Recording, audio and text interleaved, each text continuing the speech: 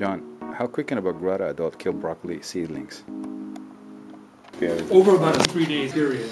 Okay, there, see, you see him there, this is slow, this is time lapse, and it's kind of out of focus initially because that plant's growing, that plant's moving, that bug.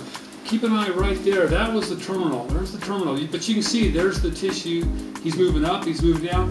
Remember, that bug's not much bigger than that cotyledon. That, he, a lot of times that's why you don't see them, because they're up underneath there. He's now he's feeding over here. Keep an eye in here, you can see this terminal kind of growing. How many days? It's a total of less than three days. I'll show you in a minute. You can see now it's moving here. He's moving around.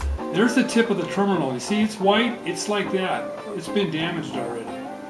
Uh, so in the course of this 48 to 72 hour period, he's moving around. This is actually time-lapse photography. But again, look at the size of him. He's no bigger than that cotyledon. That's why a lot of times you really have to look underneath those cotyledons. But really, oftentimes you can just look at, the damage initially.